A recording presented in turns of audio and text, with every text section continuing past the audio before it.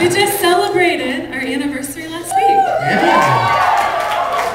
Nine years. Yeah, yeah, long time. I said, wow. Because are trying to do the math now. Like, they're old. No. Um, so uh, this next one's called Clouds Will Cover Us.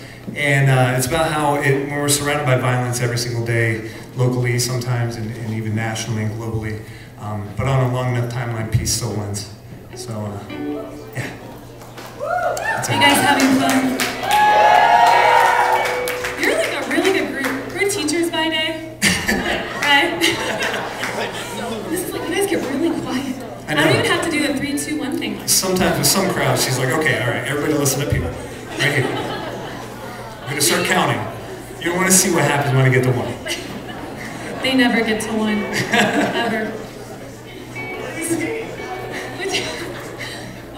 You don't want to get into that. Yeah. College comp? Composition?